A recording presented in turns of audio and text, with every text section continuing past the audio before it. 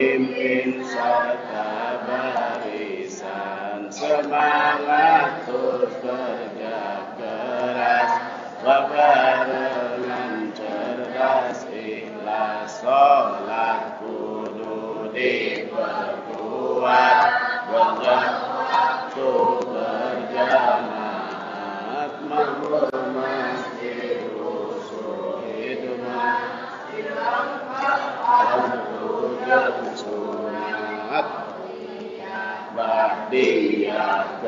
sabat tahajud tasbih jenada duha jeng sunan sejena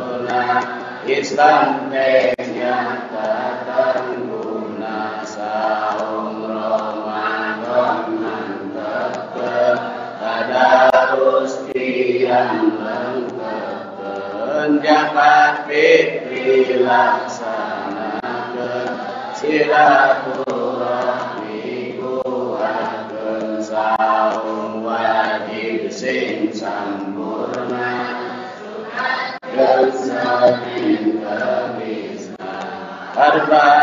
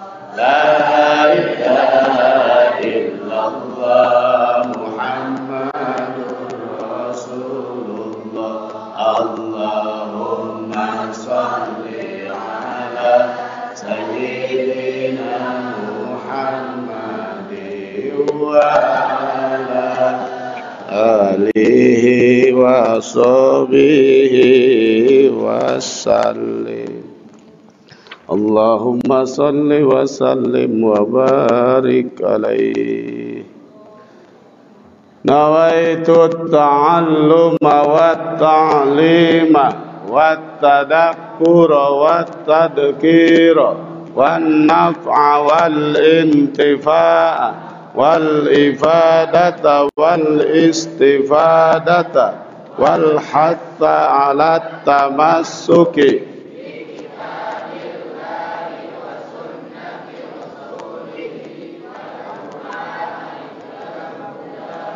دلالة على الخير ابتغاء مرضاته وثوابه وقربه أرام والحسن العلم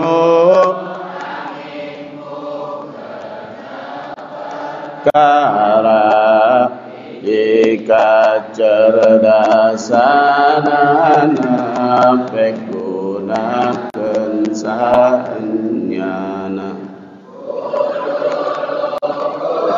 semangatlah sabar jemaah lakna kudu tekun diajarna jeung kudu cukup bekalna bener ahlina tunage kudu lila santri teh calon ulama neruskan tugas ambia mumpung yo manang guruna aya kasempatanana kudu hasil sadayana ila hadratin nabiyil mustafa sayyidina wa maulana muhammadin sallallahu alaihi wasallam. Wa ala alihi wa ashabihi wa azwajihi wa dhurriyyatihi wa ahli baitihi. Wa ila hadrati jami'i musannibil kutub khususan ila hadrati Abdul Qadir Jailani. Wa ila hadrati Abdullah Mubarak bin Wa ila hadrati wa Sayyidina Athaillah Sakandari wa ila hadrati Sayyid Muhammad Amin Al-Qurdi wa ila hadrati Sayyidina Malik Busairi wa ila hadrati jami masyaihi wa suyuhil masyaihi khususan ila ruhi sayyidina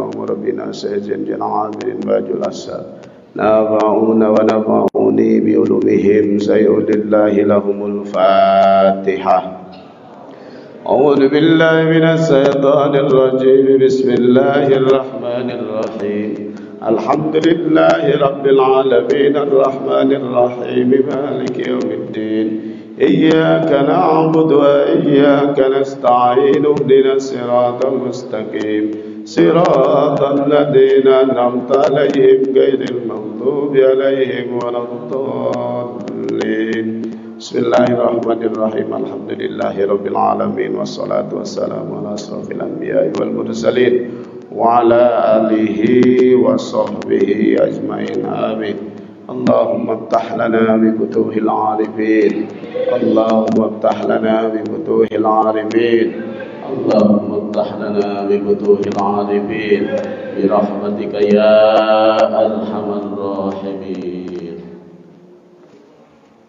Hikmah sabaraha. Itu nak eh, juz dua hikmah. Nomor? 108 kilo.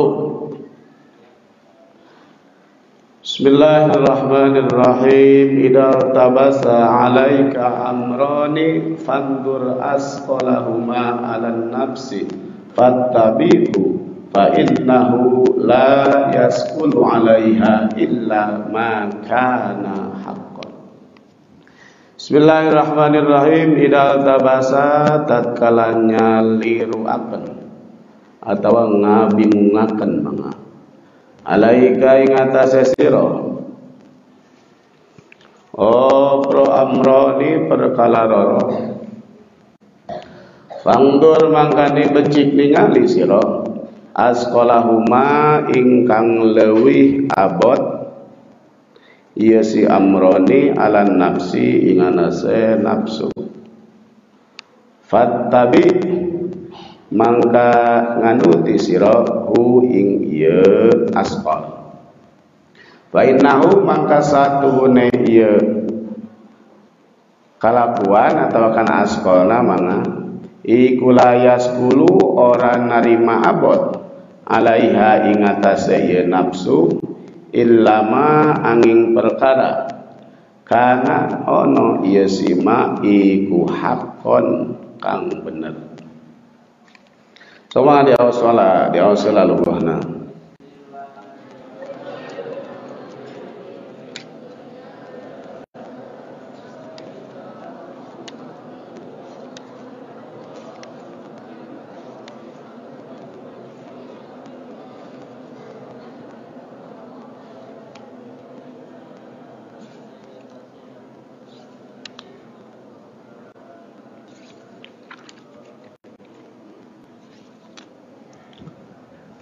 Bismillahirrahmanirrahim. Ayyuhas salik. Punten kedah na libur ayeuna teh kan. Surkan haji libur kung abdi anjing aya keperyogian bade ngarengsekeun bimbingan nuju bimbingan tesis ya teh. Mudah-mudahan anjing di ACC ku pembimbing hiji janten Ramadan ayeuna tiasa sidang. Amin ya Allah ya rabbal alamin. Janten ayeuna ngaos ayeuna ngaos. Enjing duka ngaos duka henteu. Pami enggal benten rengse insyaallah enjing ngaos. Bapak-bapak, ibu-ibu jamaah Majlis Hikmah Tabaruk kita lahul hikam.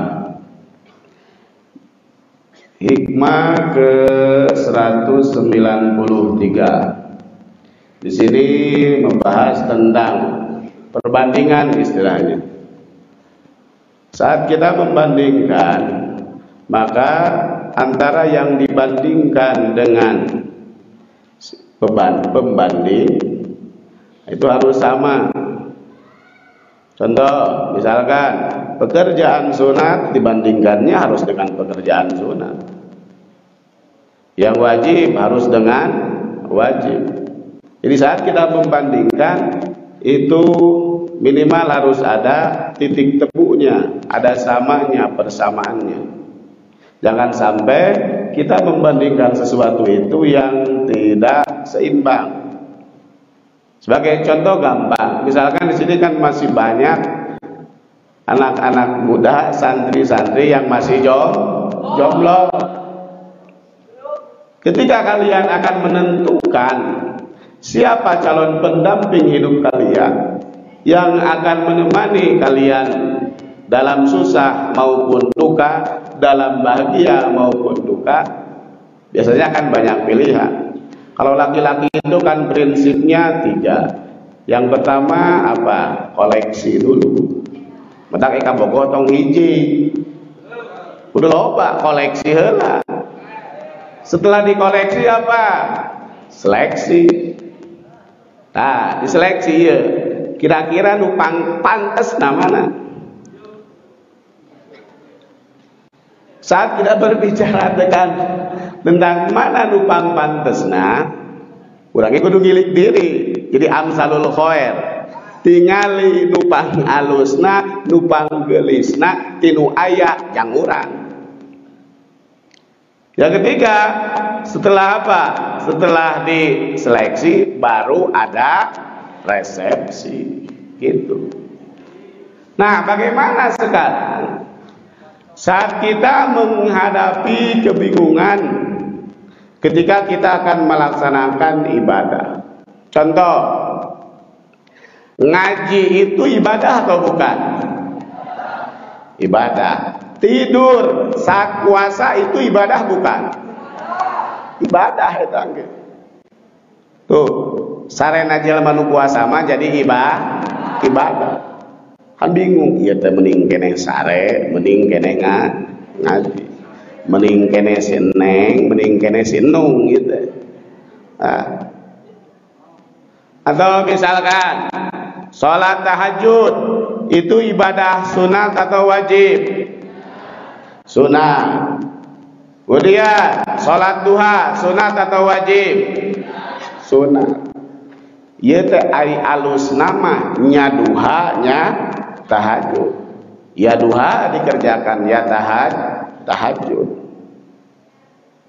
Ari kudu dua-dua nama euy pantar urang masa ribu mending makna tah. Nah anu dilaksanakeun teh mending duha mending tahajud. Ay kudu nama dua nama. Ataupun misalkan sholat berjamaah, sholat berjamaah maghrib itu hukumnya sunnah kada. Walaupun hukum sholat berjamaah itu beda-beda.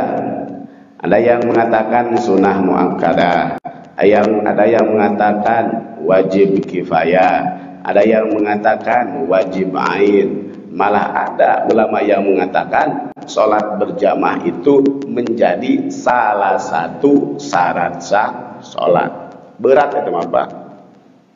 Tapi mana kaul yang sahih, kaul yang asal, yaitu bahwa melaksanakan sholat berjamaah itu hukumnya sunnah mu'akkadah. Tadi Bapak bingung misalnya Salat maghrib berjamaah sarwa sunat mu'ah ada. Salat isya berjamaah sama hukumnya sunat mu'ah kada. Tadi kan baiknya itu apa? Dua-duanya semuanya kita kerjakan. Tadi juga misalkan bingung ya pemuda ya pemuda lope disebutnya bingung iya dan kawin teh nasi enung nasi neng Kemudian bisa mah dua nana kawin tak daikeun mah dipoligami. Coba mah bagaimana saat kita bingung menghadapi dua kebaikan. Mana yang harus kita dahulukan?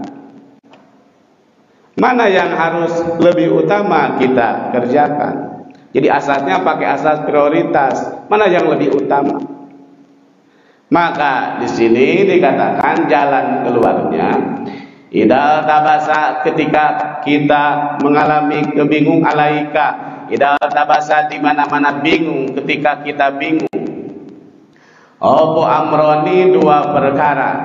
Yang dibandingkan jangan yang baik dengan yang jelek. Ya teh mending kene ngaji, mending kene ulin. Ya pasti aku mending kene ulin lah mencek nafsu. Tapi bandingkan kalau tadi saat saat kita membandingkan itu harus sama antara pembanding dan yang dibandingkan. Sebab biar fair, Pak. Ulah tinju misalkan kelas bulu diadukan jeng kelas berat. Ya pasti atuh. Can oge ditonyok karena di ngarenghak kelas berat. Terus ngajoprak. Nah, jadi saat kita membandingkan harus sama. Contoh, sebagai contoh tadi kita akan melaksanakan so, sholat. Sholatnya sholat su, sunat. Ambil contoh tahajud dan du, duha. bingung nah duha atau taha tahajud maka fantur maka lihatlah oleh kamu asqalahuma mana yang lebih berat di antara keduanya? Ala nafsi menurut nafsu. Kira-kira berat kene sholat tahajud atau berat kene sholat duha? Tahajud. Maka lamun dibandingkan antara duha jeung tahajud alus kene tahajud. Ya alus nama dua nana. Lamun bi, bi saat berjamaah tadi wajib dengan wajib berjamaah sholat maghrib dengan berjamaah sholat isya. Kira-kira. Gampang genahna oh berjamaah sholat maghrib atau berjamaah sholat isya?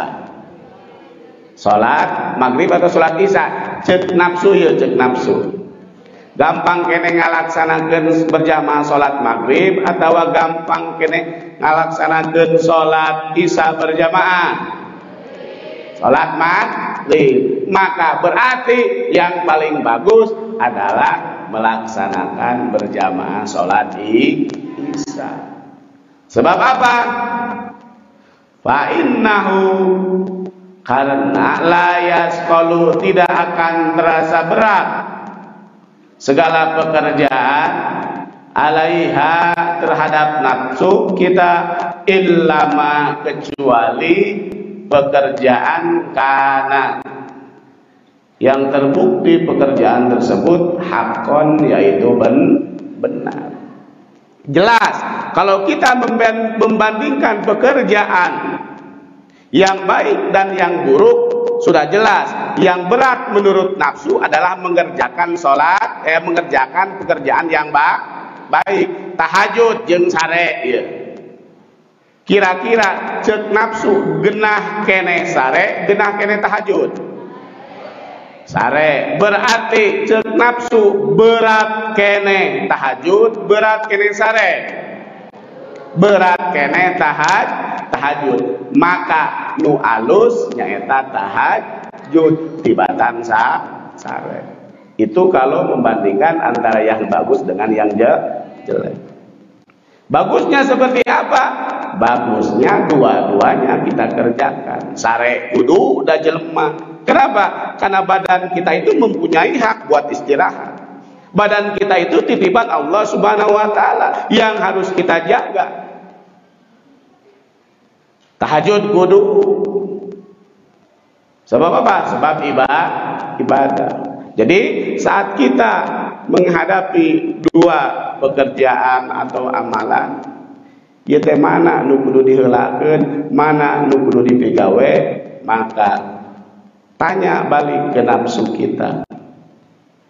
Kira-kira yang menurut nafsu berat dikerjakannya mana? Berarti itu adalah perkara yang baik da atau perkara yang lebih ba baik.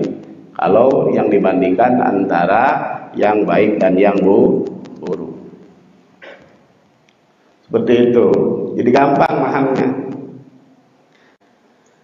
Nah di sini sebagai contoh Pak kita bisa mengetahui itu berarti kita itu ada il ilmu Salah satu ulama mengatakan bahwa ilmu itu ada tiga intinya.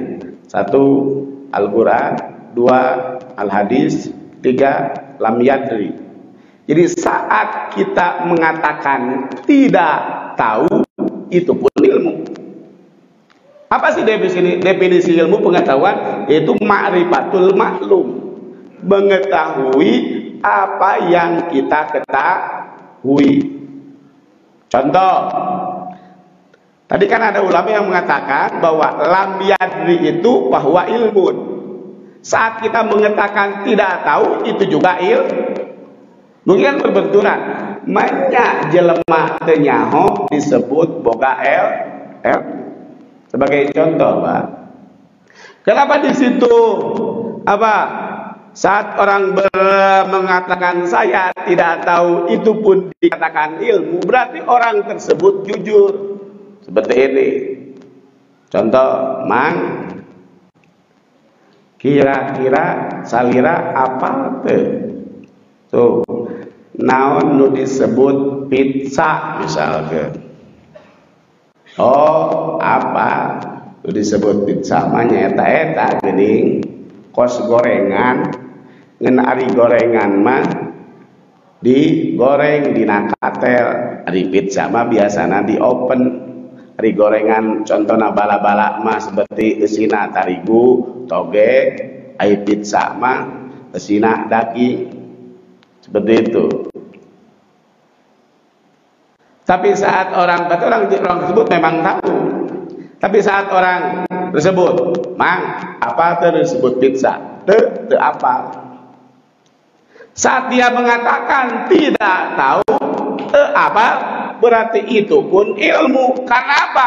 Tadi yang disebut ilmu itu ma'rifatul maklum mengetahui yang dia ketahui. Sedangkan manehna tadi jelema teu apa? Naon nu disebut bisa tapi manehna sadar bahwa manehna teu bisa. Maka eta teh bisa jadi ilmu. Kakitu bolir kene ya bolir kene. Namun orang Garut ayah salah sahiji makanan ciri khas Garut teh Garut tapi tepat. Nyata kue burayot. Nya burayot ayah yang Garut? Ayo orang Garut tadi dia burayot. Burayot nih burayot. Burayot. Eh, kue burayot. Kalau ditanya ya ke orang Sukabumi kanu paling dia kan komisi paling dia apa te kue burayot ente berarti anda mengakui bahwa anda itu tidak tahu yang disebut kue burayot berarti anda jujur terhadap anda terhadap yang anda ketahui. Yang anda ketahui itu bahwa anda tidak tahu di kue burayot lu gitu disebut nael Sebab kurang menyadari kurang teh apa? Sedangkan ilmu teh ma'rifatul maklum nganyahokeun nu dikanya hokeun sedangkan nu dikanya hokeun ku diri urang bahwa kue buroyot eh bahwa urang mah apal kue burayot. Tak urang ngaku bahwa teu apal kue burayot. Maka itu disebutnya il ilmu Maka saat kita lihat dalam kitab Ihya'u Ulumuddin karangan Imam Al-Ghazali radhiyallahu an, juz 1 ada di situ.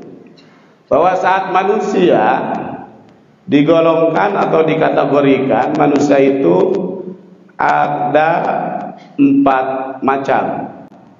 Itu kaulnya bukan menurut Imam Ghazali, tapi menurut Syekh Khalil bin Ahmad tapi ada dalam kitab Ihya Ulumuddin juz 1 halamannya hilap lepat mah halaman 58 Jadinya bahwa manusia itu terbagi empat.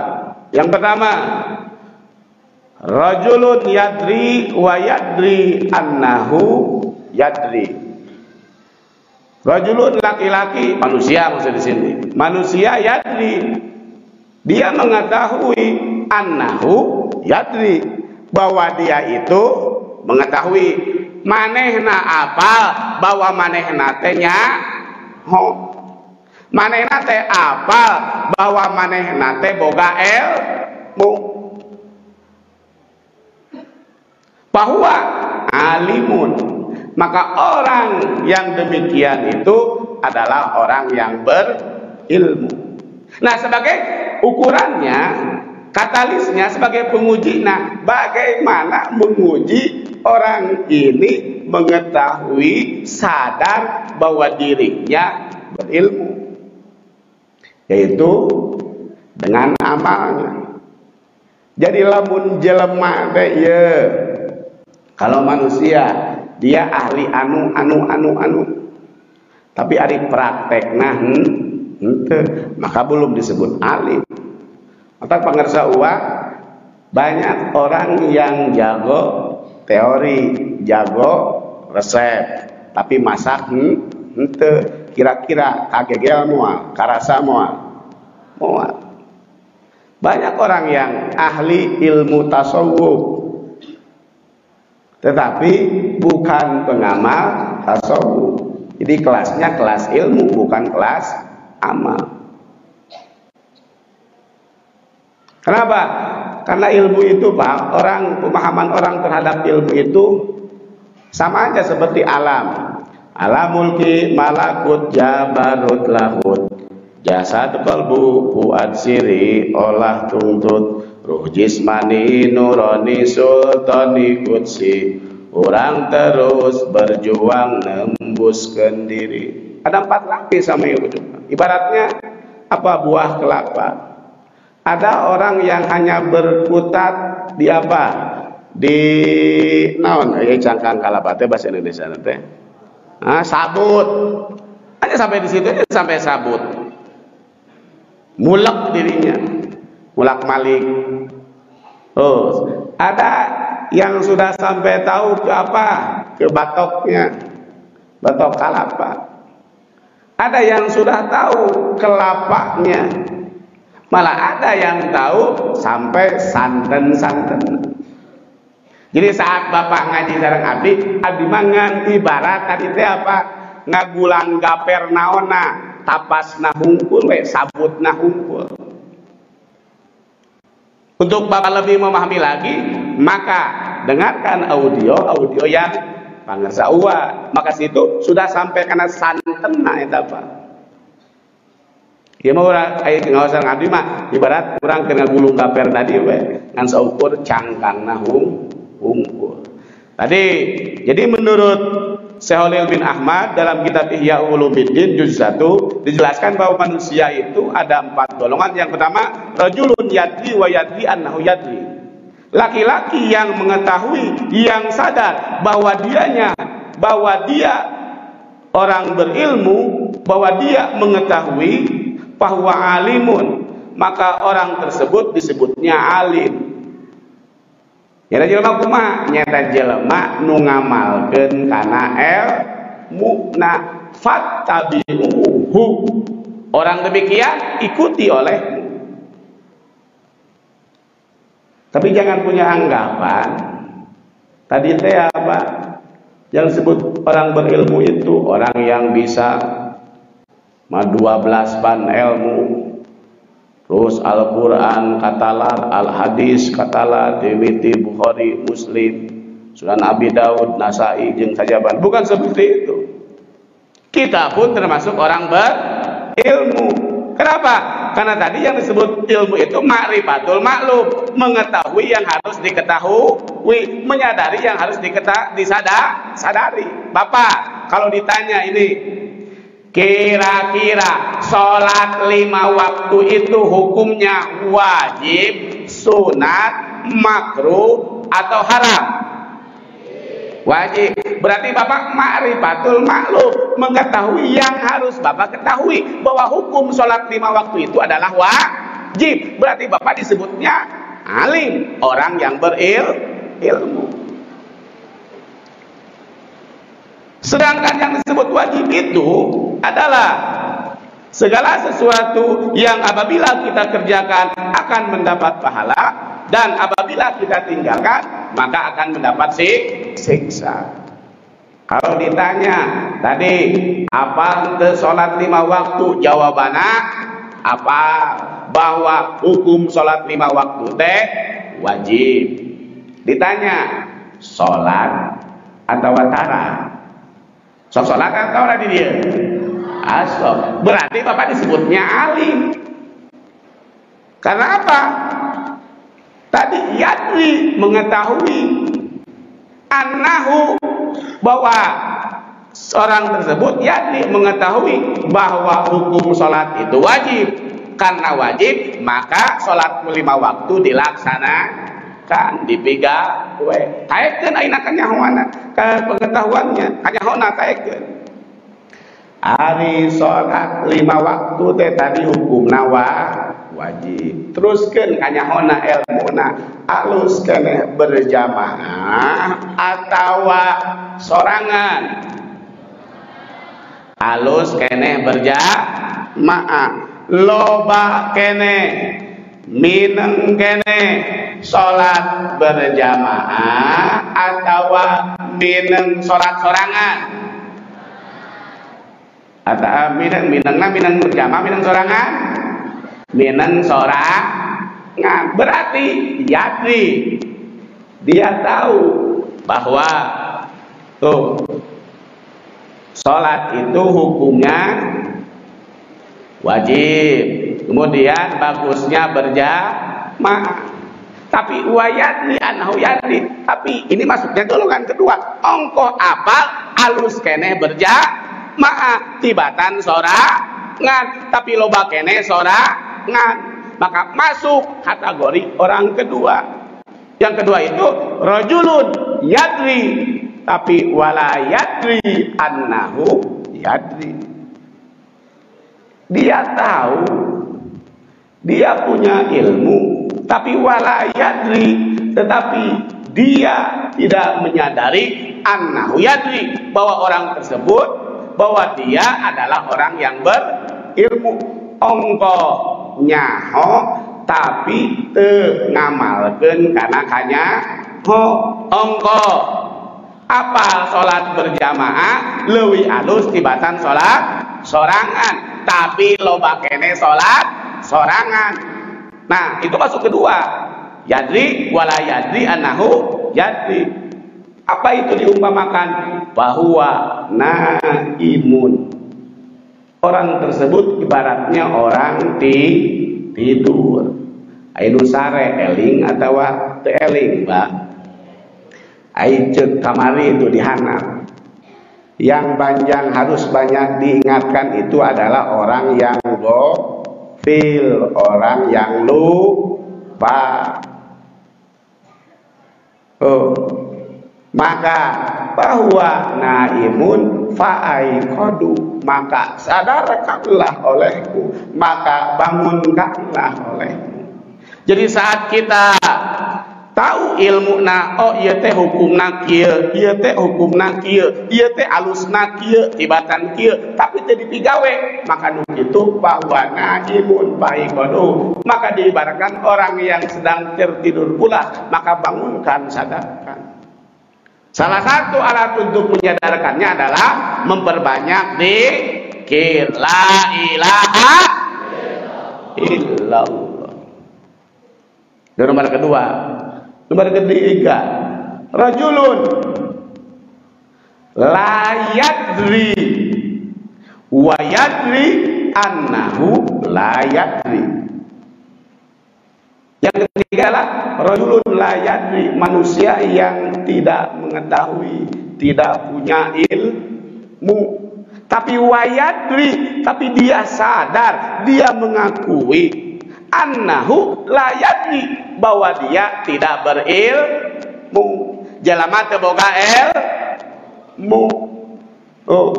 Tapi marena sadar teu boga ilmu bahwa mustarsidun. Awas nyebut tak ulah mursidun. Ay mursid. Bandung dulu ieu mah mustarsidun. Ayasin dirinya pami dicana kana sorop sin dirinya Eh, sin wajan istifal teh salah si mana nyata tolak.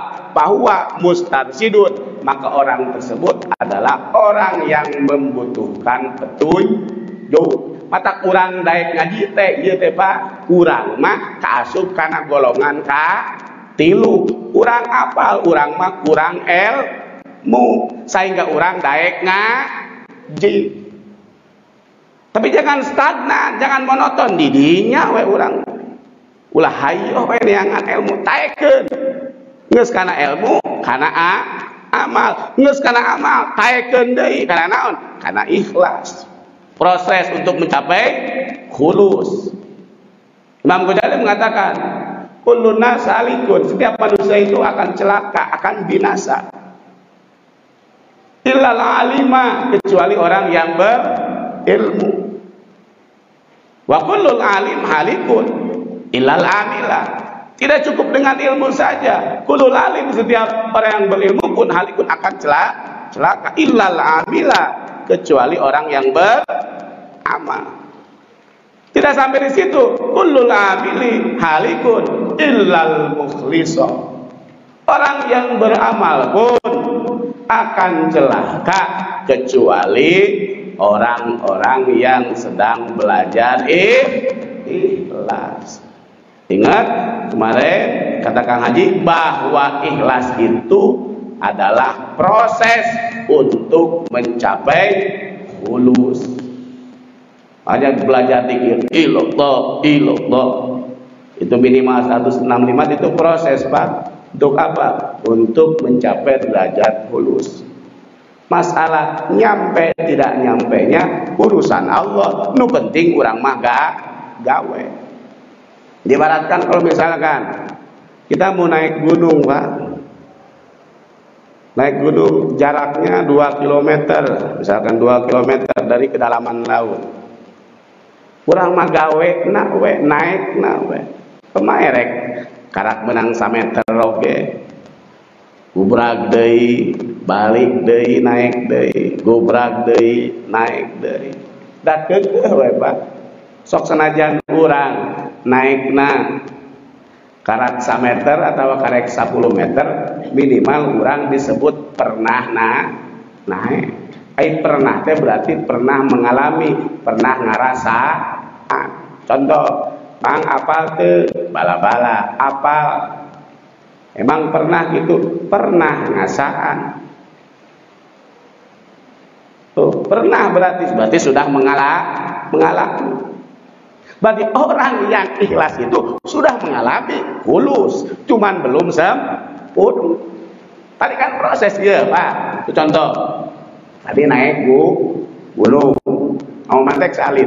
Tadi ngangguk naik kagu gunung. Ceritanya, gunung tersebut ketinggiannya dari laut itu misalkan 2 kilometer. Kemudian orang tersebut pendaki gunung tersebut dia mampu naiknya. Tuh mampu mendaki gunungnya cuma 100 meter. Pengalaman can naik gunung. Mengalami dia tidak naik gunung. Mengalami sampai tidak. Ente jadi tapi minimal geus ngalah ngalaman kurang. Ya dikit tadi salah satu jalan untuk mencapai derajat hulus karena ikhlas itu adalah pro proses. Berarti lamun kurang ditanya ibarat tadi. Jelema naik gunung 2 kilo, mampunya 100 meter ditanya, "Mang pernah naik gunung te? Pernah. Nepi te? Hente. Ngalaman te naik gunung? Ngalaman. Nepi te? Hente. Sabaraha? 100 meter. Berangkat tujuannya ih, ikhlas itu hulus untuk mencapai proses ulus itu berarti ada pro proses itu disebut i. Jadi lalu ditanya ngalaman teh hulus. Ngalaman teh ngalaman ngenepi can. Can. Jadi minimal ngalaman kurang boga pangalaman. Masalah nepi jeung teu nepi nama urusan Gusti Allah. Nah, tadi balik lagi ke, ke tadi bahwa yang ketiga golongan manusia itu Rajulun layat dia tidak tahu. Tidak paham. Tapi wayadri annahu layadri. Tapi dia sadar, dia mengakui bahwa dirinya itu orang bodoh, orang tidak tahu, orang yang belum paham. Maka orang tersebut bahwa mustarsidun maka orang tersebut diibaratkan orang yang membutuhkan petunjuk farsidun maka tuduhkan kurang lir ibarat apa? Lagu naon? Ayu ting ting. Mana teh gini? Nu alamat palsu lain. Ta eta teh jelema linglung. Bejaan di mana alamat nah supaya kapangi. Karunya dugi ka ayeuna can kapangi keneh Pak. Yang ke keempat. Yang keempat itu rajulun la yadri yadri annahu layadri Orang yang keempat adalah orang yang tidak paham, tidak tahu, tidak mengerti, walayadri dan dia tidak sadar annahu layadri bahwa dia itu tidak tahu. Jelema. Bodoh. Tapi manehna teu sadar diri teh bo bodoh. Bahwa jahil jahilun. Ay ahmakun farbidu orang tersebut itu adalah orang jahil orang ahmak orang tolol farbidu maka jauhilah olehmu nah tinggal kita itiraf balik tanya karena diri orang orang asup karena nomor kahiji Rajulun yadri wa yadri anahu yadri. Orang yang mengetahui hukum, orang yang mengetahui kewajiban, hukum haram, wajib, jeng saja bana. Dan dia pun menyadari bahwa dianya itu tak tahu.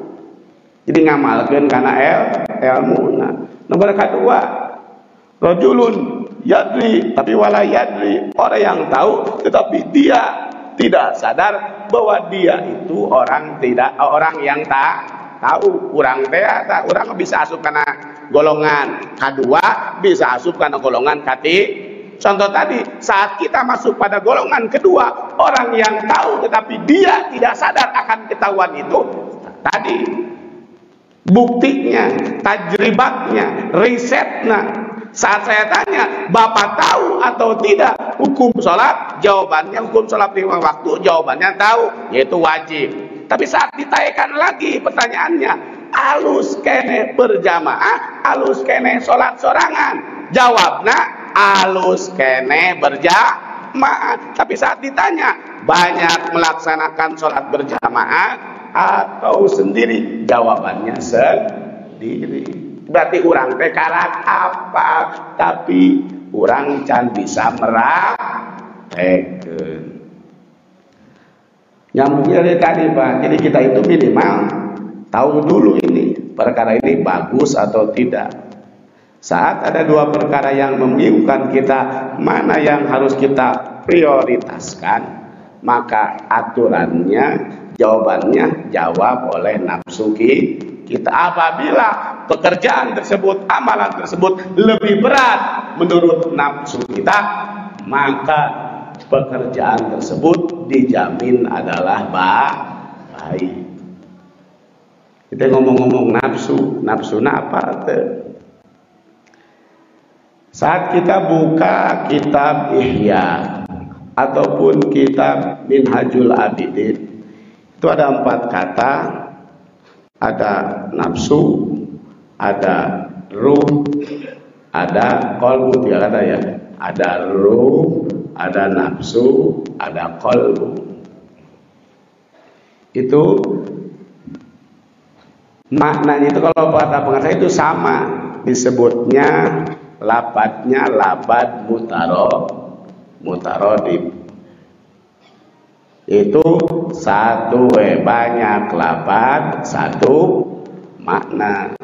Ibarat di, di sunnah loh banyak. Lapat mutarodib itu di sunnah. Ayah misalkan pak nih ini tangan. Ngambil nasi. Masukkan ke mu ke mulut. Namanya itu apa? Hah? Ma makan atau dahar lemes naon Hah? tua lemes nadai ayah deui neda kasarna nyatu lolodok itu mutarodif itu Sunah maloba. Kalau bahasa Indonesia ya tetap aja. Gitu disebut nama makan. Tadi ibaratnya bahwa ruh, kolbu, dan nafsu itu adalah lapan mutarodif. Yang mana yang satu? Salah satu maknanya itu adalah kalau pengarsa sama pengarsa juga mengatakan bahwa yang disebut tadi nafsu, kolbu, dan roh itu adalah nurun robbaniyatun cahaya ketuhanan yang ada dalam diri kita atau pengertian mengatakan dimensi ketuhanan yang ada dalam diri kita nafsu itu bisa dikatakan keinginan Pak kahayang maka saat kita kurang nafsu makan suka ada jamu buat meningkatkan nafsu makan. Leles, letoy wae. Tuh, letoy wae. sok aya naon? Jamu. Naon? Jamu ku. Kuat sekarang kita letoy wae leuleus wae. Salat tahajud letoy salat dua duha letoy salat maun hajat letoy salat tasbih komo ah baca hadis nage salat tasbih mah lamun mampu tiap poe kerjakan tiap poe kalau tidak mampu seminggu sekali kalau tidak mampu seminggu sekali sebulan sekali. Kalau tidak mampu sebulan sekali setahun sekali. Kalau tidak mampu setahun sekali seumur hidup sekali. Ek nyokot tupang akhir-akhir nawe apa itu jamu nafsu ibadah untuk meningkatkan giro gairah ibadah adalah di Allah la ilaha illallah Tadi nafsu, pengaksawa bikin adoman supaya uh, supaya gampang. Salah satu referensinya ada di kitab Tanwirul Qulub. Amarah lahu wa ma mutmainnah mulhimah. Radiyah maradiyah katujuh kamilah. Bawa perang-perang Amarah lau Wa mamut ma'inna mulhima Rodiyah mardiyah Katujuh kamilah. Amarah lau Mutmainnah mulhimah juga milah amaroh lahu wa mahmud ma'innah mulhima. Radiyah maradiyah katujuh kamilah itu tujuh macam nafsu yang ada pada diri kita nafsu itu bukan harus kita hilangkan Pak. Tidak ada istilah tahdifun nafsi. Menghilangkan nafsu enggak ada. Ada juga tasfiyatun nafsi atau tazkiyatun nafsi. Membersihkan beda antara membersihkan dengan menghil eh, membersihkan dengan membu membuang. Contoh di ayam piring kok kotor. Hai piring kotor biasa apa dibersihkan atau dipijet dibersihkan atau dipijet dibersihkan atau dipijet baju ya baju. Baju gus dipakai sapoe sapeting daugah nyuci. Pan sok bau. Berarti kotor atau bersih? Nu kotor gitu. Kudu dibersihkan atau kudu dipijet nafsu kita pun mbak. Oh, tidak ada istilah tahdipun nafsi membuang nafsu ada juga tazkiyatun nafsi membersihkan nafsu. Mana tazkiyah? Lihat di dalam komus. Mana tazkiyah itu? Satu ae lita ae at-tathir. Bisa berarti mensucikan. Atau makna zakai zaki tajkiyatan itu maknanya itu adalah menumbuhkan jadi mana jaka itu? Bisa meresihan bisa numbuhkan. Sehingga nyambung pak dengan ini nih. Tadi. Anu amarah lawama mutmainnah mulhimah dia maradiyah katujuh kamilah. Amarah itu amaratun bisu ngaberungna dina perkara asu anu go goreng. Ongko ngaku Islam tapi tara so salat tapi tara puasa jakatlah pun. Sholat kan ukur setahun sekali atau setahun dua kali mana? Idul adha we jeng idul fitri. Banyak tidak yang gitu pak orang Islam kok ngaku ngaku is Islam. Tapi sholatnya paling satu dua kali lebaran ya hukum berarti yang ada pada dirinya yang menguasai dirinya itu baru apa? Nafsunya nafsu am marong ngaberungna karena kagorengan nunggu tapi kan orang mantep gitu pak kurang dibersihan setan nafsu amarah ku dikir la ilaha illallah subhanallah alhamdulillah Allahu akbar la ilaha illallah. Maca Quran salat nah itu dikir. Mulai berkurang berkurang. Kurang mah tengah berung keneh karena kago kagorengan. Sekolah tara. Puasa sok tara. Zakat asok tara. Asok tara zakat asok atau zakatul fitri? Menyatara zakatul fitri itu oh sekali sekali setahun sekali zakat zakatul fitri. Terus misalkan tahajud asok tara. Asok tara. Asok sok sanaos misalkan tahajudna sebulan sekali. Kemarin penting asok pak. Dah sekali a asok. Dua asok tara. Asok tapi orang sok rajin misalnya sholat di luar waktu. Sok tara pernah deh sholat misalkan subuh keberangan jadi sholat.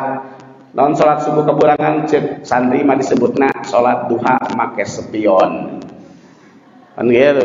Orang mah kan NU berarti make ku kunut gitu. Kau jelma teh sholat teh sholat jam 8 berarti jam 8 waktu du, duha tapi ngangkatkan lengan oh iya mah sholat duha maka sepi sepi on berarti subrang subuhna kabe pernah ke orang ngalak eh, tuh sholat subuh kaberangan pernah tapi sok sholatan. Asok ngen pernah kabe maka berarti pak. Nafsu orang mulai naik henteu amarah henteu ngaberung di naka gorengan wae tapi geus naik kurang malus les. Kadang berjamaah kadang te, kadang awal waktu kadang akhir waktu. Malah raja di luar waktu. Kadang puasa Senin Kemis ente atau Kemis puasa Senin ente. Kadang tahajud kadang ente. berarti nafsu kita sudah tumbuh sudah tazkiyah itu masuk pada tingkatan kedua yaitu nafsu lawam laom ibu yang baik pak kadang halus kadang goreng. Tapi kalau perlu terus kita tazkiyah, terus kita urus, kita bersihkan, maka akan masuk pada tingkatan nafsu yang ketiga, yaitu nafsu mutmain. Dari nafsu itu tadi maknanya itu nurun robbani. Dimensi ketuhanan atau cahaya ketuhanan yang ada dalam diri kita yang harus kita olah yang harus kita tumbuhkan. Prosesnya disebut tajkiyatun nafsi. Alatnya adalah dikrullah. Salah satu alatnya adalah dikrullah. La ilaha illallah salah. Jengna ina. Imal tamat-tamat di panjang-panjang tinggi salah jengna hikmah sebelah ina? Hikmah ke 180 obat. Min alamatit tibail hawa al musariatu enak nama al mus oh jadi uh, mana Mas Darmimi enak nama musari'ah musar musaro'ah. Masdar bibi al musaro'atu ila nawafilil khairat wa takasulu anil qiyami bil wajibat. Min alamati tibail hawa iku tetap setengah saking piro piro tetengger anut ing hawa nafsu al musaraatu utawi gegelisa atau age-age ila nawafilil khairati. Maring piro-piro pasunatan piro-piro kang bagus. Watakasulu lan males. Anil qiyami saking ngadegaken bil wajibati kalawan piro-piro kawajiban ngaoslah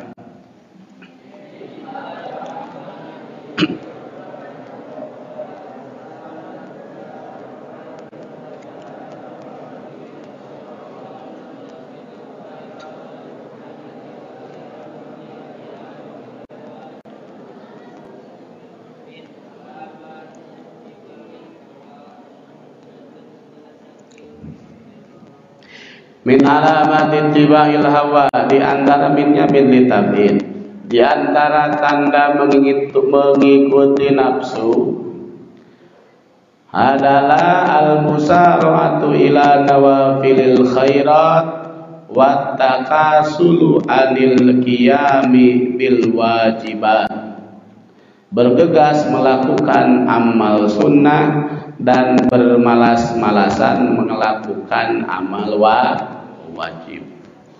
Kecik bahasa Sunda mah ciri orang nuturkeun hawa nafsu teh nyaeta gera-gera gagancangan resep digawe ibadah sunat tapi tata langke hese lenglek ngalaksanakeun ibadah wa wajib Jadi salah satu orang yang ter apa eh, terkena tipuan nafsu itu itu berarti udah dua pak. Berarti sebelumnya kan ada ihalatukal amali ala wujudil firogi min ru'unatin nafsi. Taswib dari situ. Ngengke-ngengke bagawean, diengke-ngke angkewe, dapat nyangkene waktuna engkewe itu adalah salah satu contoh dari tipuan nafsu. Sekarang salah satu di antara sekian banyak tanda-tanda orang yang mengikuti hawa nafsu itu dia akan bergegas siap siaga melaksanakan pekerjaan sunat tetapi malas-malasan melaksanakan pekerjaan kewajib kewajiban Kenapa demikian Pak? Karena biasanya yang wajib itu oh, suka dianggap hal yang dia biasa. Sedangkan hari itu biasa mah ente wah. Contoh, anak ada haran we, Pak. Kita kasih contoh dulu ke makanan, sebab berlapar. Ya, ai makanan pokok. Orang Sunda ya orang Sunda Pulau Jawa we lah. Pulau Jawa. Karesep makanan pokoknya apa pak? Nah nasi. Jadi pokoknya nah nasi. Lamun daging ayam daging sapi. Lamun ayah daging daging onta tong daging jelema lain sumanto tuh. Eta pokok atau lain? Pokok atau lain? Lain eta mah panam panambah da pokok nama sangu. Kira-kira urang lamun ningali ye? Aya sangu. Sapiring jeung daging loba. Rawog keneh ka mana Pak? Rawog keneh ka mana kita semangat makannya makan nasinya atau dagingnya.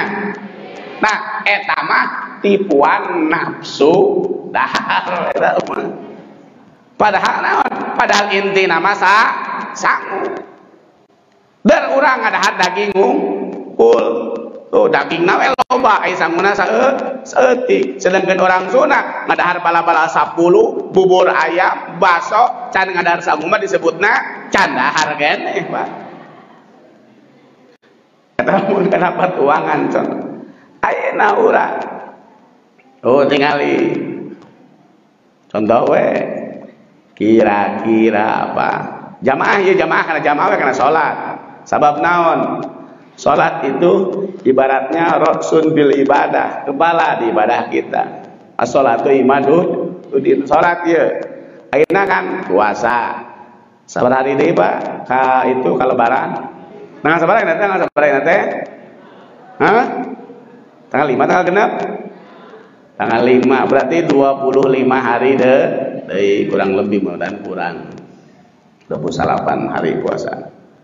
Nah, pada tanggal 1 Syawal itu ada salah satu amalan sunnah kita yaitu apa? Salat Idul Fitri. Hukumnya apa? Sunnah. Jadi hukumnya sunnah.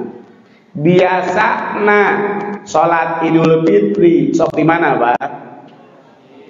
di masjid lamun temuat di masjid di lapang di lamun sholat di lapang teh banding kunaon teh Pak banding kupinuh di masjid sudah tidak muat lagi kapasitasnya ayeuna. Hari sholat su subuh. Sholat subuh. Wajib atau sunat tadi alus kene berjamaah atau sorangan. Bandingkan tuh loba keneh nu berjamaah salat Idul Fitri apakah loba keneh salat berjamaah subuh di masjid bebas. Tas amal Bagan loba kene salat berjamaah sunah Idul Fitri atau loba kene jelema nu ngalaksanakeun salat berjamaah subuh di masjid. Idul Fitri atau subuh. Sedangkan Idul Fitri hukumna? Ai subuh? Tah eta teh ciri urang naon kabawa genap nafsu gampang. Eta mah pagawean contoh kamari. Punten. Kamari teh urang teh naon bulan naon? Aya memeh Ramadan teh naon teh? Sa'ban. Di dia wa ieu mah di dia Pak. Di dia Sa'ban. Dina bulan Sa'ban teh aya disebut hiji salat sunnah. Nyata salat sunat salat sunat naon khoer sabar rakaat. Alhamdulillah Pak. Tilu lantai pinu sholat hoer mah sholat subuh ya. Lamun tejeng santri santri kan eh, kita tanggal 20 25 bisa pulang. Sholat. Sholat subuh di dia mual lebih di dua jajar paling saja jajar. Berarti ada teh ciri urang teh naon kaelekeun ku nafsu urang katipu ku nafsu. Naon sababna tadi teh apa? Aneh. Sabab hari sholat hoer mah satahun saka sakali hari sholat wajib mah ada geus biasa teu aneh. Metak santai we. Da teu mangi ayeuna ge isukan paribasa ah teu subuh ayeuna ge isukan ge mangi deui. Ai sholat hoer mah can kubu umur panjang. Itu alasannya seperti itu. Padahal itu tipuan nafsu. Jadi ibarat tadi, ah da urang mah kan ai ngadar sangu mah moal poe ngadar sangu tiap dahar ge jeung sangu ai daging sapi teuing mangi deui teuing teu pedak hai mah ngadar daging sapi tapi ka muncrut. Eta teh tipu kumaha tuh saena bagaimana bagusnya? Eh bagus nama wajib. Nyapi gawe sesuai aturan sunat oge ulah ditinggal jadi jangan sampai kita mengutamakan pekerjaan amalan-amalan yang sunnah, sedangkan amalan-amalan yang wajib kita apa? Tidak kita pedulikan santai-santai wahai. Dengan alasan tadi teh ah daisukan madur bapangih deui bisa berjamaah. Henteu misalkan poe ayeuna duhur isukan alasan isukan mang hidei poe isukan teu ah ke deui we minggu hareup bulan hareup lapor wae. Tadi teh atuh kana teh ihalatu kal amali ala wujudul firogi min ruhunatina nafsi. Itu hikmah ke 193 eh 80 oh opat ayeuna hadis ka? Eh hadis teh. Hikmah ka? 185 nyata jadi rerok letah teh lapat mah Sebab naon eh katarik gue ya ku batuangan. Mana? Qayyada ta'ati bi ayanil awqati kaila yamna'aka anha wujudut taswifi wa wasa 'alaikal waqta kaita bekolaka hissatul ikhtiyari. Qayyada ngayidan yadat Allah atau ati ing piro-piro lampah ibadah. Bi ayanil awqati kalawan piro-piro date piro-piro waktu. Kaedra pon layamna orang nyegah. Kain zero anha saking ieu taat opo wujudut taswifi tinemune ngengke-ngengke wa wasa'a lan anjembarakeun ieu dat Allah alaika ing atase al waqta ing waktu. Kaeta bekodrapon yen takali laka kedewe sira. Apa hissatul ikhtiyari bagian milih-milih sampai Allah Eh lugot lugot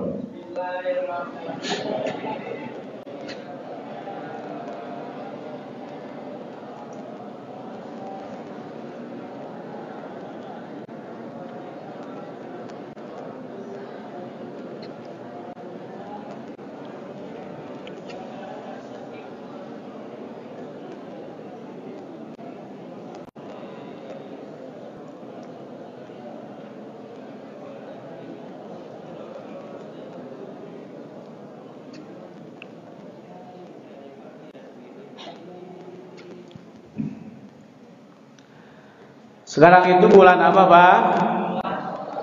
Bulan Roma, Ramadan. Kita punya kewajiban tidak? Punya apa kewajibannya? Melaksanakan puasa Roma, Ramadan. Jadi puasa Ramadan itu ada waktunya tidak? Ada. Tadi jam 12 kita melaksanakan sholat apa, Pak? Sholat Jumat. Ibu-ibu neng-neng melaksanakan sholat apa? Duhur. Ntar setengah empat kita akan melaksanakan salah satu kewajiban kita apa itu? Sholat asar. Berarti sholat duhur ada waktunya tidak? Ada. Sholat asar ada waktunya atau tidak? Ada. Jadi setiap amalan, setiap kewajiban yang diwajibkan oleh Allah Subhanahu wa taala itu diatur, dibatasi oleh waktu. Duhur ayat batasna awalnya misalkan dari jam 12, akhirnya jam 3. Asar di jam tilu tepi kajang genep. Isa misalkan di jam genep tepi kajang eh, maghrib. Jam yang gue guru isa tuh. Lewatan mulai maghrib maghrib tapi ke jam tujuh misalkan. Jam tujuh isa tapi subuh setengah li setengah lima. Subuh tapi ke terbit napanon poe. Itu ada wak waktunya. Untuk apa sih Allah membatasi ibadah-ibadah kita oleh dengan waktu. Puasa nu disunatkeun teh misalkan tiap minggu nu mingguan teh nyata Senin ke Kamis. Alasannya apa? Di sini qayyada membatasi dat Allah at-taati terhadap ibadah-ibadah yang akan kita kerjakan sebagai contoh tadi duhur. Waktunya ada batasannya ada awal ada akhirnya yaitu duhur jam 12 sampai jam 3 biayanil auqati dibatasinya oleh waktu waktu. Untuk apa tujuannya? Kaila la kaila yamna supaya tidak mencegah naka supaya tidak mencegahmu anha dari perbuatan-perbuatan ibadah tadi. Apa itu yang mencegah kita? Wujud taswifi adanya atau ngengkeng-ngengkeng dari bahasa Indonesia. Ini dede menunda nunda. Ingat di dalam kitab apa? Minhajul Abidin ada akobatul awaik itu tingkatan tegak membahas tentang awaik hambatan-hambatan kita dalam melaksanakan ibadah pada Allah Subhanahu wa taala. Itu ada empat. Imam Ghazali e, menggolongkannya, membaginya menjadi empat. Yang pertama adalah ad-dunya wa ma yang kedua adalah an-nasu, yang ketiga adalah as-syaiton, yang keempat adalah an-nafsu, ay nafsul ammaroh. Nah, di situ kan kemarin udah kalau nggak salah makan ayat dibahas. Awaik setan itu atau eh, talbisul iblis, jurus-jurus iblis dalam menggoda manusia e, melaksanakan ibadah itu ada berapa? Ada tuh tujuh. Yang pertama adalah nah nahyu mencegah. Eh ngaji itu eh, ngaji sate ngaji mah capek tunuh cangkel mending kena sare. Jadi awak selun sare mah awak se seger. Oh. ada orang Ngesele ku setan ah dengan aja mending kena sare. Jadi karena ngaluarkeun jurus kahiji setan geus tapi ada. Misalkan jurus yang ke satu oh, ditahan atau ngaji. Masih tetap nga, ngaji. Ngan ngaji natel telat. Ngaji mulai jam satu. Ada biasanya nyampe setengah jam jam tilu ngaji kewe ayeuna arek ngalembang kenela cangkeng ngagoler. Oh ngagoler heula karak setengah dua. Ah karak setengah dua masih ayah kurang lebih sajam setengah. Kewe jam dua.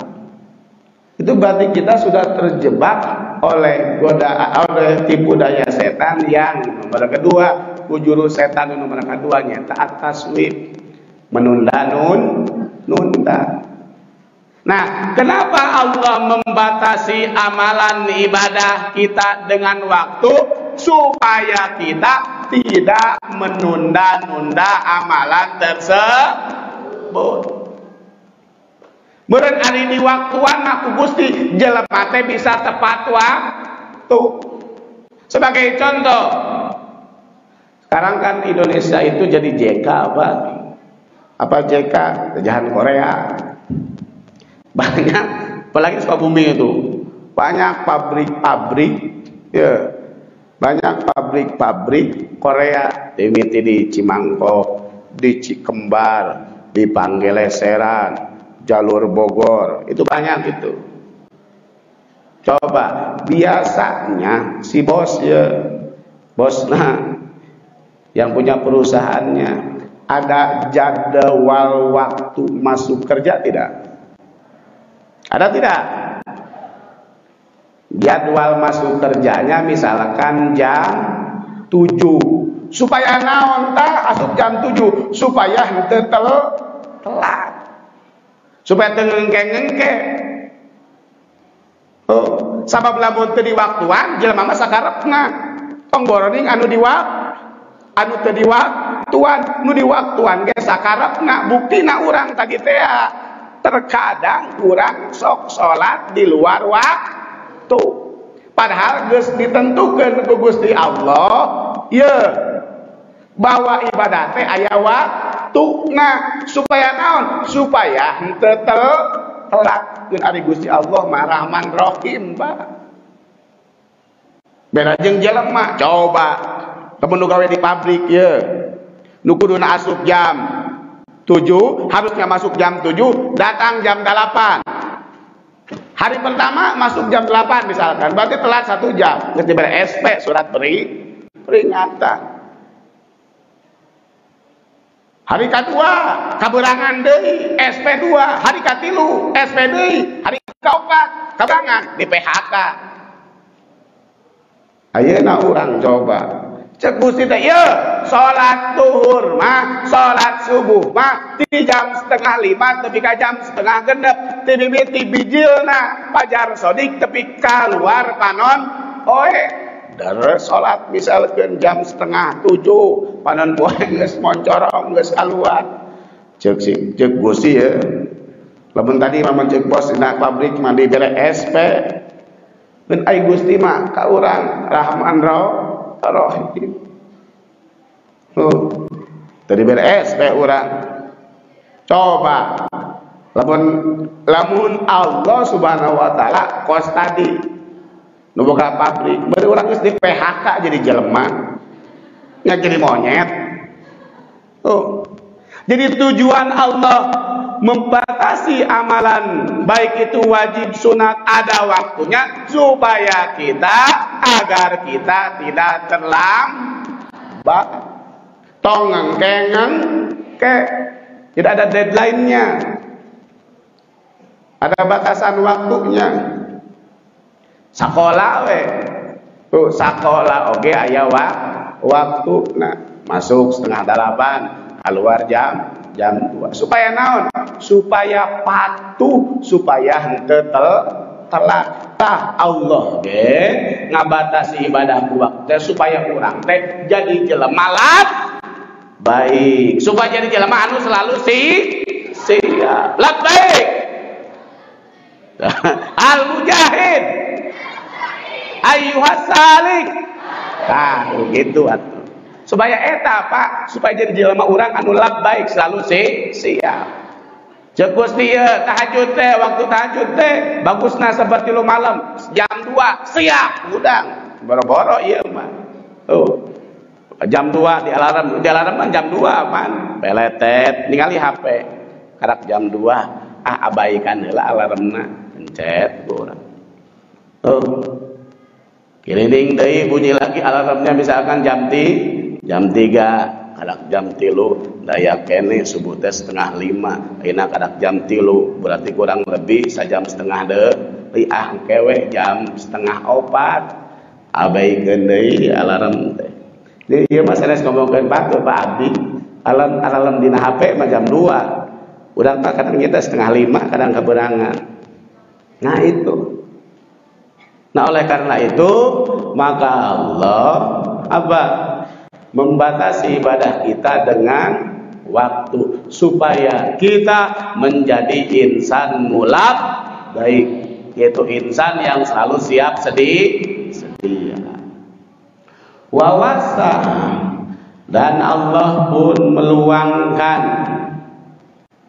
Alaika kepada kita meluangkan apa? Al-waqta terhadap waktu kaita buko supaya ada atau supaya tetap laka untukmu.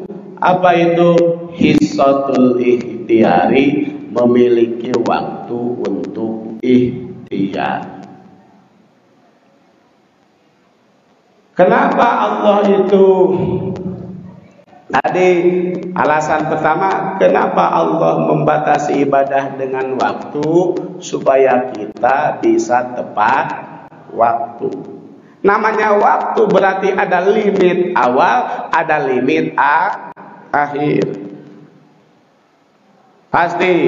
Itu disebut sajam. Disebut sajam itu lamun ngitung nanti jam 12 berarti T jam 12 ketika jam 1 pasti ada limit awal ada limit akhir. Ayeuna contoh sholat duhur teh waktu duhur mulainya misalkan supaya gampang hitung jam 12 waktu asar jam 3 lebih misalkan. Jam 3 lebih 1 menit. Berarti habis waktu duhur itu jam 3. Di situ Allah mewajibkan kita untuk melaksanakan sholat duhur. Tuh dar orang sholat duhur. Ari sholat duhur orang, Mbak. Kok lamun sorangan sabara menit? Tilu menit oke okay, be. Beres. Jadi beda orang. Ada perbedaan sedikit kita dengan Rasulullah. Apa itu? Kalau Rasul itu sedikit-sedikit menangis. Bukan menangisi dosa, Rasulullah tidak maksum. Tapi menangis sebagai bentuk syukur kepada Allah Subhanahu wa taala dan menangisi dosa-dosa umatnya supaya umatnya ntar di akhirat mendapat syafaat. Syafaat. Ya Rasul mah tiap ibadah setik-setik nangis, mucur kencai mata. Ai urang mah nangis nasa tara ceuri urang mah dina ibadah teh. Lamun nyeri hate we karena ke ceuri. Rasul mah sedikit-sedikit sebentar-sebentar salat. Urang mah salatna seben sebentar. Rasul itu sedikit-sedikit sebentar-sebentar sodak sodako urang mah sodakona saltik beda seetik ya banyak ya beda seetik. Rasul mah seetik seetik. Sholat urang mah seetik sholat nah. Rasul mah seetik seetik. Sodako urang mah sodakona seet beda seetik. Ngabalikeun nama maknana jauh. Nah Balik lagi tadi, jadi waktu duhur itu jam 12 sampai jam 3 sholat kurang. Sholat duhur 5 menit lah, jam dikir tilu kali. Sedangkan tadi waktu duhur itu berapa jam Pak? 3 jam. Jadi waktu duhur itu ibaratnya tadi kalau contoh tadi berarti 3 3 jam. Satu jam itu berapa menit? 60 menit. Jadi kalau 3 jam 6 kali 3 180 menit. Dikurangi tadi sholat 5 menit. Masih panjang tidak waktunya? Berapa menit lagi? 155 menit. Nah, untuk apa itu waktu Allah memanjangkan waktu jadi ada jedanya cukup lama. Waktu duhur itu apa aeta bekolaka hissatul ikhtiar supaya apa supaya kita tetap memiliki waktu untuk ikhtiar. Ikhtiar bisa dikatakan usaha. Ini sebenarnya kewajiban Allah itu tidak ada yang membebani kita. Cuma kita hanya saja yang menjadikan beban. Waktu duhur jam 12 ke jam tilu. Lamun kurang sholat awal waktu madur coma ya jam 12 waktu duhur langsung wudhu dan sholat berjamaah lo di masjid misalkan. Beres jeng wirina lo di masjid mah tapi setengah satu. Ayah waktu ya sabar menit deh berarti berarti dua jam setengah deh kalau dihitung menit berarti 120 150 menit deh tah pakai kurang pakai ikhtiar. Ikhtiar di sini boleh memilih, rek dipakai naon? Kurang dah. Waktu selesai ibadah teh. Rek pakai ibadah deh kurang, pakai ngaji kurang, hejae. Nu penting kurang geus ngalaksanakeun kawajib ibadah. Rek dipakai sare, sare. Rek dipakai ngadian budak, hejae. Tuh jadi supaya apa? Allah tadi membatasi waktu, kemudian waktunya ada jedanya, ada antaranya, itu supaya kita tadi tepat waktu dan supaya kita bisa membagi waktu. Intinya ya tadi kudu tepat waktu kurang oke kudu bisa ngabagi waktu. Intinya bisa dimanakan santai santai. Bisa santai nggak sholat makan tenang. Sehingga kata pengarang saat orang menghadapi adan atau pemberitahuan sholat itu minimal ada empat orang, ada empat golongan. Yang pertama ada orang yang ketika mendengar itu disebutnya dur'ah. Ada yang ngadang teh Allahu Akbar Allahu Akbar. Kumaha jelema nu dur'ah? Hare, ieu teh geus datang deui salat deui asa cikene biar sholat subuh menyangga duhur deui men sholat subuh na jam 11 ada orang seperti itu Pak bisa teman ada aduh gitu ke sholat deh wae gusti. Pegawaian kecan ke beres itu ke sholat deh sholat deh wae ayah nukit ayah tuh. Ayah mana? Iya bapak kelana kadang-kadang gitu kalau kerjaan numpuk ada cacing eh biar sholatnya nggak sholat deh wae ada yang durlillah saat mendengar adar alhamdulillah. Umur teh nepi deui kana nepi deui kana asar. Tapi teu ini henteu teu ini si bae ngucapkeun alhamdulillah. Nu keur ngopi jeung ngudut ngudut kene. Nu keur main HP main HP nu keur masak ibu-ibu masak. Nu keur sakola di sakola kene. Teu buru-buru ka mas ka masjid. Kemudian ada lagi yang durcir kata maksudnya durcir jadi pas kedengar ada itu langsung becir kacai langsung mangkat ke masjid yang terakhir ada ah, yang apa? Yang durcong. Jadi sebelum datang waktu sudah siap sedia untuk melaksanakan sholat. Lamun geus durcong nah kudu balik deui teu kana dur ah entong Pak.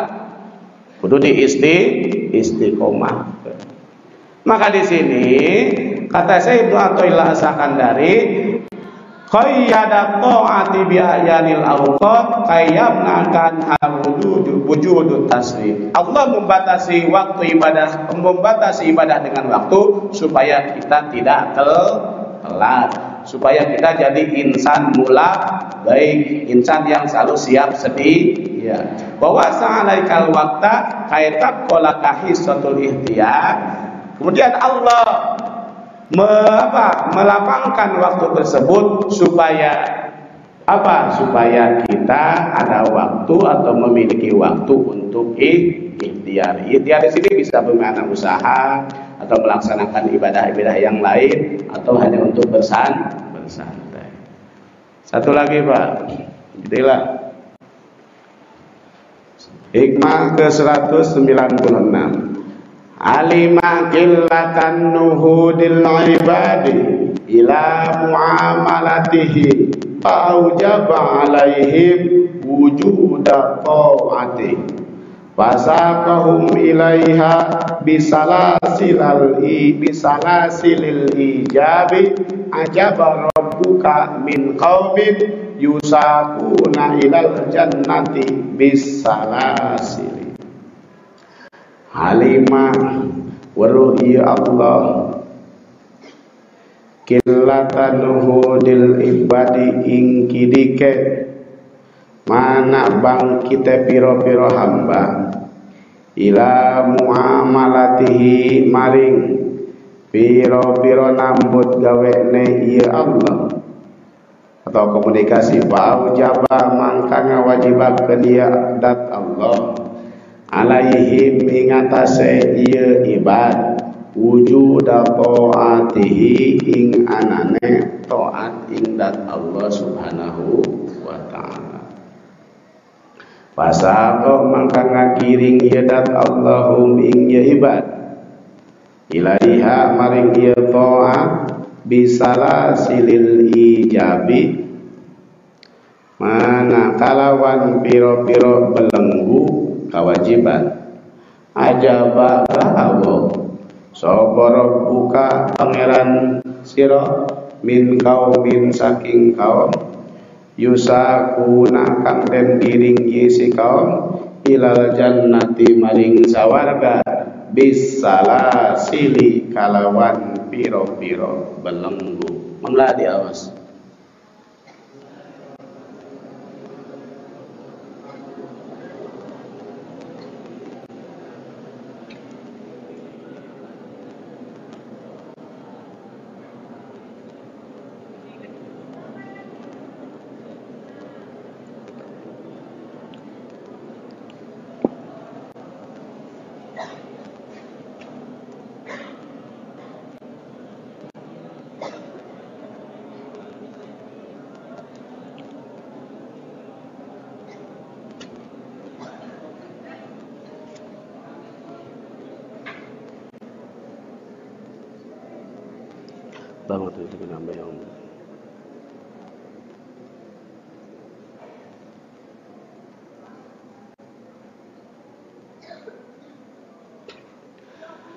Alima killata alima killata nuhudil ibadi ila muamalatihi fa'ujab alaihim wujuda ta'ati Allah mengetahui sedikitnya hamba yang bangkit untuk berkomunikasi dengannya.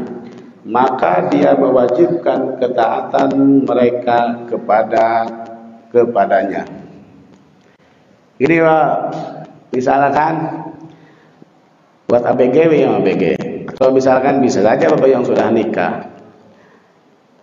Di dalam istilah anak orang-orang atau pemuda milenial itu ada istilah LDR.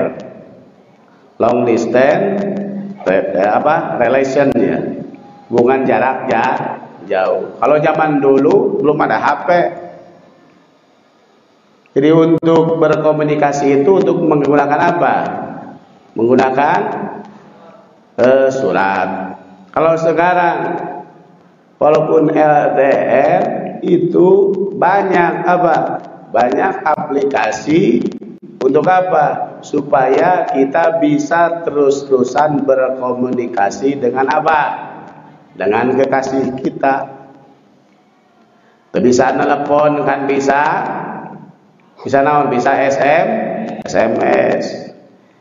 Telepon kudu make kuota, SMS oke kudu make kuota.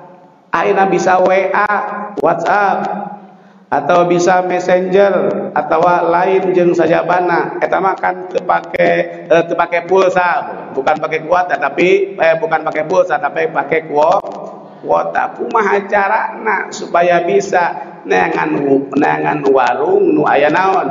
Nu aya wifi-an kan gitu. Supaya nempel bisa ngilu wifi gratis untuk apa itu?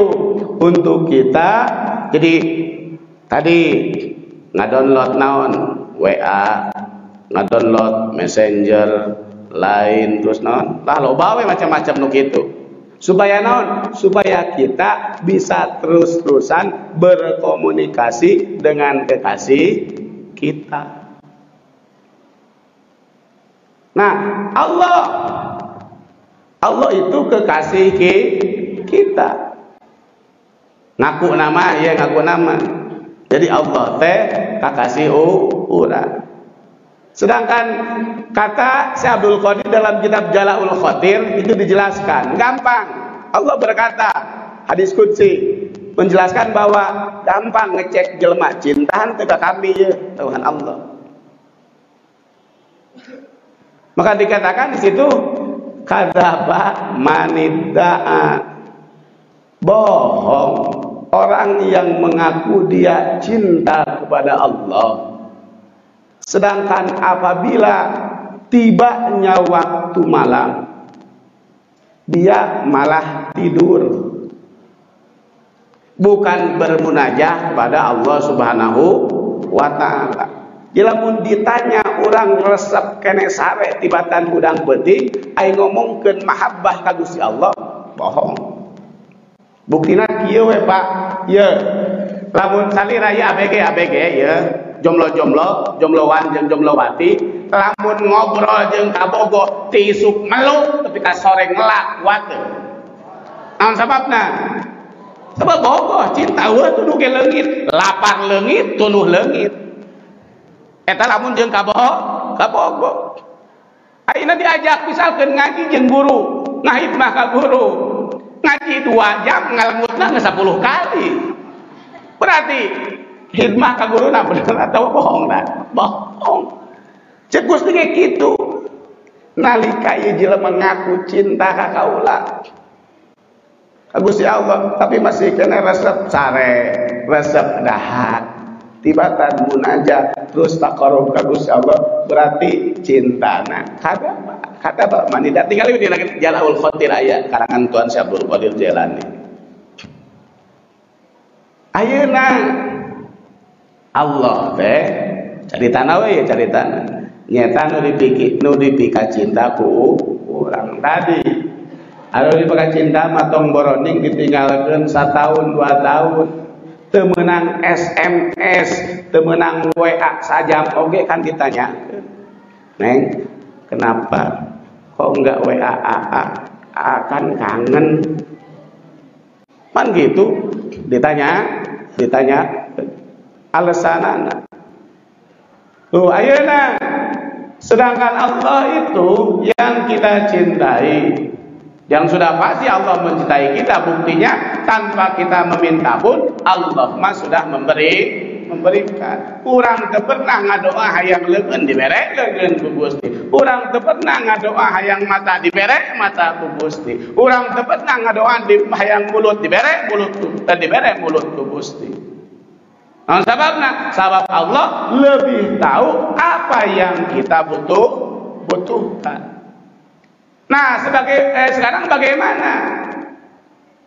Sedangkan cek Allah teh ieu jelema teh dibere anu anu anu wae. Jasadna sampurna, hartana loba. Tuh, tapi beli hese ka aing nganuhunkeun teh. Hese hikmah ka aing, hese mahabbah ka aing teh. Pane lalaki lamun hayang ek nemak awewe Namun hayang ganjang diterima, segala lagi dibi dibikeun. Bukan berarti Allah ingin dicintai oleh kita sebagai sebagai bentuk terima kasih kita sebagai syukur kita kepada Allah Subhanahu wa taala yang memiliki sifat al-jawad memberi tanpa dipin, dipinta. Nah, bagaimana Allah supaya bisa terus berkomunikasi dengan manusia sebagai penguji oh iya manjal mate cinta meureun ka mahabbah ka kaula dauhan Gusti maka alima qillatan nuhudil ibadi ila muamalati fa aujaba alaihim wujudut doa jadi Allah mengetahui bahwa sedikit hamba yang bangkit yang bisa berkomunikasi dengannya maka dia mewajibkan ketaatan mereka kepada Allah. Jadi diayatkan kewajiban pasunatan di Allah Subhanahu wa taala amalan-amalan ibadat teh supaya orang bisa berkomunikasi jeung Gusti Allah, supaya orang bisa langsung munajah ka Allah, supaya orang bisa curhat ka Gusti Allah. Ieu mah curhatna ka Mamah Dede, Bang. Nah, curhat dong mah. Surat ke jelema. Jelema mual ayah nu mutlak benar ada di hikam di sini bahwa pandangan manusia itu tidak ada yang absolut benar selamanya benar pasti temporer benar-benar kadang benar kadang ente saya Lukman saya, saya Hakim itu yang itu di sini yang naik himar itu dia punya hi, himar untuk apa? Untuk memberi pelajaran pada anaknya. Untuk apa? Untuk selalu apa? Ikhlas pada Allah, belajar ikhlas, belajar lulus sama Allah, jangan terlalu mempedulikan omongan orang.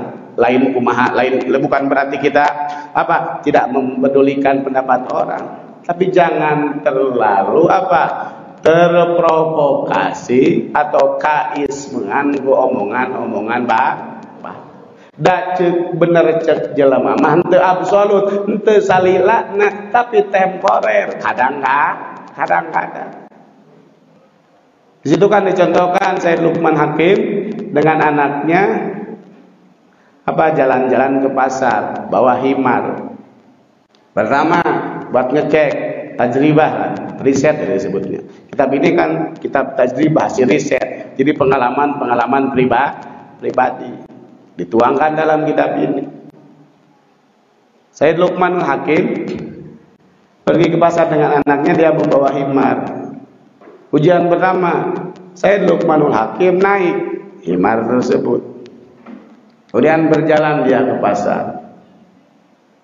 Kemudian yang apa? Yang menuntun si himar tersebut adalah anak anaknya.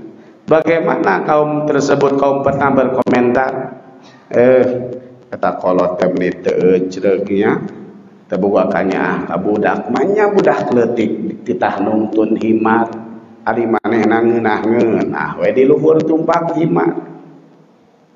Berarti salah tah cek saya Lukman Hakim ah ayeuna mah tuh urang tukeran we jang kening cek kaum eta mah bapak naik imar maneh nungtun teh salah. Ayeuna urang gantian. Maneh nuna naik bapak anu nung nungtun liwat deui cekaum eta budak kuculangung sia mah teu sopan ka kolot mah nyari ngeunah-ngeunah numpak iman ai kolot maneh nungtun ku teu sopan teu matut hirup teu kasopanan bangka waras ya ka kolot berarti salah deh salah deh ah atuh jang Sek saya lupa lagi, ayo nama kieu we kurang naik dagenik tadi bapak nu naik maneh nu nuntun sa? Salah. Ayeuna? Maneh nu naik bapak nu nuntun salah deui wae. Ayeuna urang taekan we duanana lah. Urang naik urang duanana hadinya duaan. Taekan ku duaan. Ngaliwat deui kumaha je kau? Ih eta jelemanya pan himar teh leutik ye. Leuheung-leuheung lamun ku kuda ye makan himar ku duaan meuni eueuh asas plik kehimaran Tuh. Karunya tuh himar. Salah dewa ya Pak. Cek saya Lukman Hakim. Tuh, tadi Bapak naik salah. Ayeuna mana tadi naik salah. Terus dua anak-anak naik. Geus eta tong ditaekan urang tuntun we keduaan.